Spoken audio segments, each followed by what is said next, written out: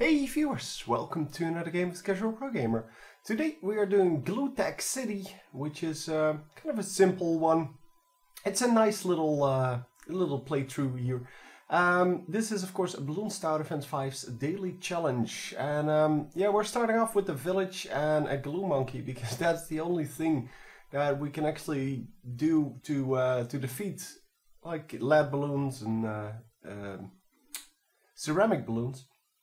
So I um, I set it to uh, strong, uh, but or I should set it to strong, but I think it's still set to first. Yeah, it is. So um, yeah, getting a little bit easier playthrough now because um, you want to set that to strong as soon as possible, obviously. Uh, so what we're going to do is we're going to use that uh, glue monkey on every balloon except for the Moabs, and then um, yeah, the, the tack towers will pick off whatever is left and um, they will pick up the Moab. Um, yeah, that's the general thing.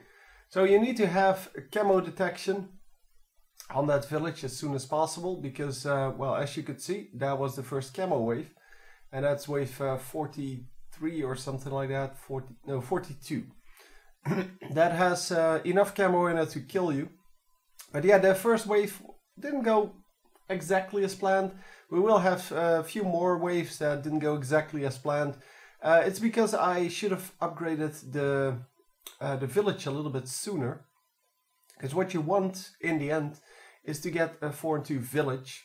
And I do recommend yeah having this many tack shooters because it will work, work out exactly.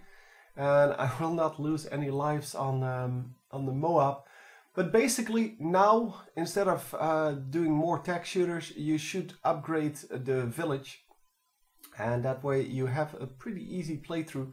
Because once you have the village to 3 and 2, uh, you not only have camo detection and range and such, but you have extra gold coming in. And especially in these waves, so um, where you have uh, 5000 gold per wave, or money, I don't know what it is. Um, yeah, it's uh, pretty important to have that. And here I should have set it to uh, to first the um, monkey, the, the glue monkey, glue gunner. Uh, yeah, because uh, it is really important to get those uh, those early balloons once the Moab pops. Obviously, you cannot have the fully upgraded uh, village here unless you sell everything, which might actually not be too bad. I'm not actually sure because the village actually does quite a lot of damage and especially to those Moabs but yeah well I don't know uh, how that works. So you might want to try just uh, selling all of the tack shooters upgrading the village. Yeah, first calculate whether you have enough obviously.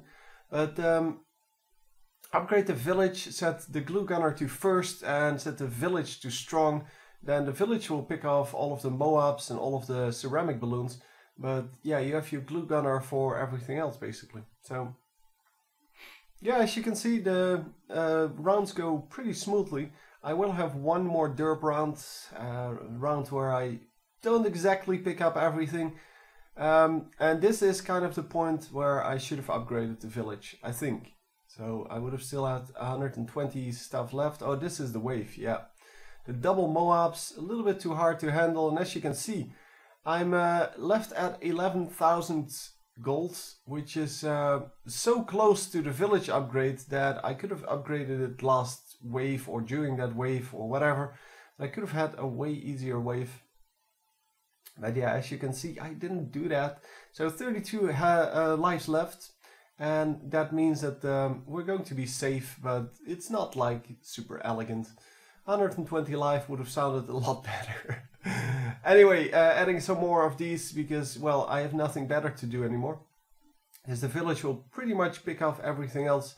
And um, yeah, the glue monkey is not actually necessary, so you could actually sell it if you wanted to. But as you can see, it all works out. Hope you enjoyed, and I will see you next time. GG.